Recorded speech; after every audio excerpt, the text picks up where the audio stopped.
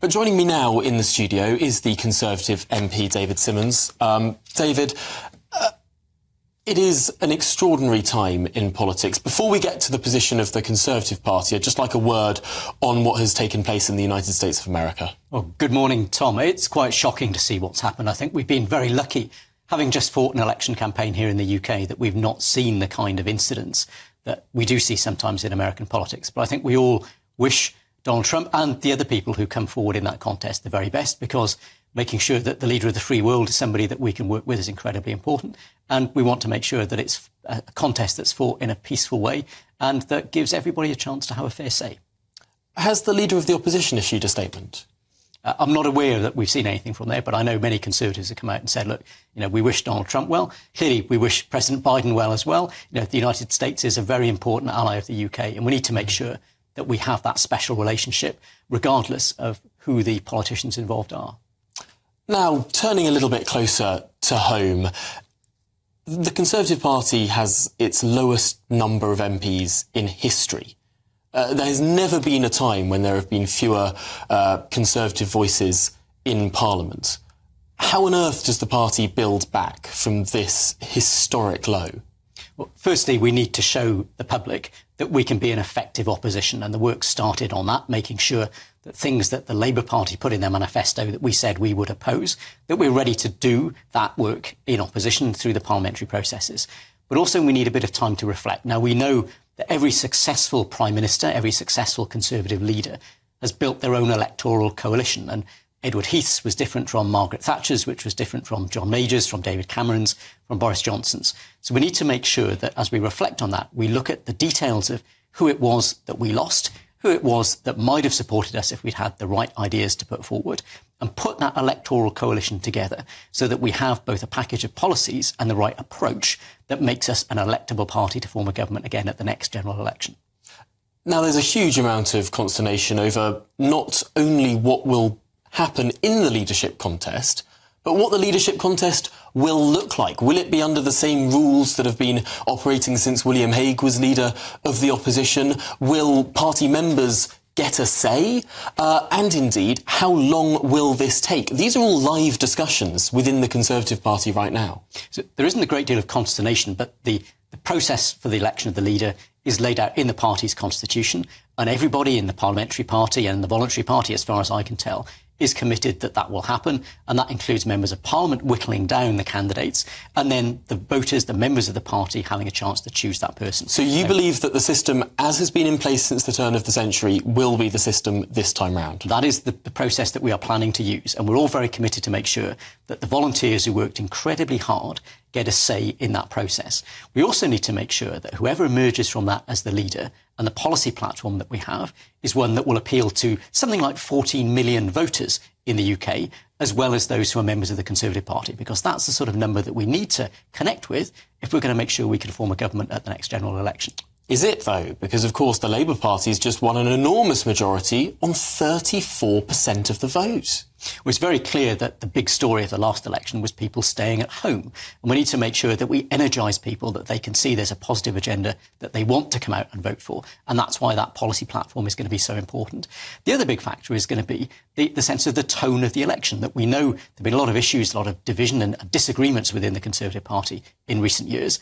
There's a real sense of unity amongst parliamentary colleagues at the moment, a desire to put all of that behind us and make sure that we've got a leader and a policy platform that we can unite around.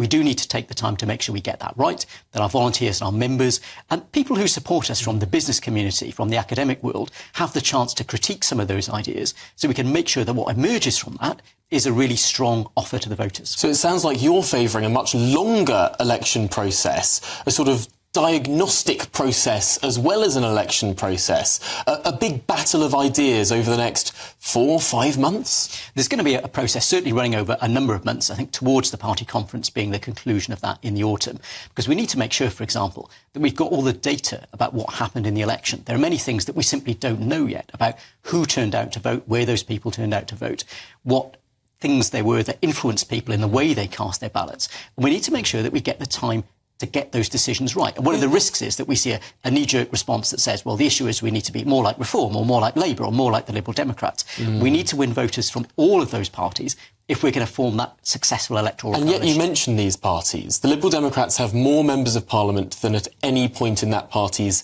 history. Uh, they've got over 70 MPs now. They rival the Conservatives in terms of size in, in Parliament.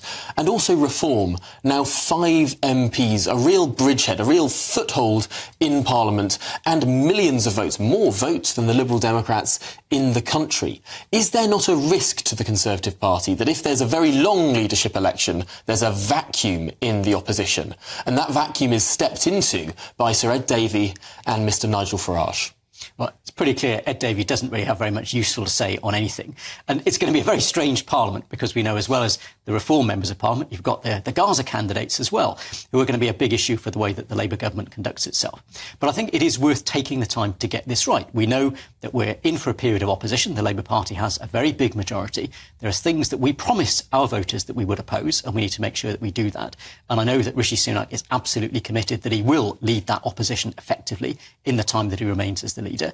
And that gives the rest of the party, the volunteers, our supporters in the wider country the opportunity to make sure that we do properly learn the lessons of what happened a few weeks ago and that we come out of that strong and ready to fight the next election as an effective, credible governing party. Do you believe that Rishi Sunak would be willing, therefore, to serve as leader of the opposition for many more months to come, having humiliating exchanges over the dispatch boxes at Prime Minister's questions with the new Prime Minister, Sir Keir Starmer. Uh, A, lot of people are very sceptical that Rishi Sunak would want to stand there as the sort of leader of a defeated party, week after week after week, still standing at that dispatch box, still asking those questions. Well, public service isn't easy, and tough decisions are not just things for government. We have to take them in opposition as well. But Rishi has been very clear that he will serve in that capacity to make sure the party has the time and the space that it needs to make the right decision about his successor, and that we have that effective opposition laid out in the next few months. And given that we're likely to make a decision around about the time of party conference, maybe just after, in the early autumn, it means that we go into the new legislative period of the, the, forthcoming parliament, the debates that will follow about the legislation outlined in this week's King's speech, as a party that is absolutely fit to oppose, but also to begin mm. to set out what our alternative legislative agenda would be, because we want to make sure that the voters can see what the choice is before them. Mm. Now, just finally, there are some names that have been floating around, none of them officially declared yet, of course, but Kemi Badenoch, Robert Jenrick, Suella Braverman, Tom Tugendhat, James Cleverly. Are you leaning towards any of them? Well, the party is full of talent. I think amongst those names, there are people like Tom, whose politics are very much uh, politics that I find a great affinity with. We need to give them the opportunity to show to our volunteers, to our party members, to members of parliament, and to the wider public that they've got the ability not just to develop good policies, but to communicate those effectively in a way that the voters will warm to. So I think this is an opportunity for all of them to do that, and all of us, regardless of the outcome, to get behind the leader that emerges keeping your cards close to your chest. David Simmonds, thank you very much for joining us uh, this uh, this morning. Really, really appreciate it.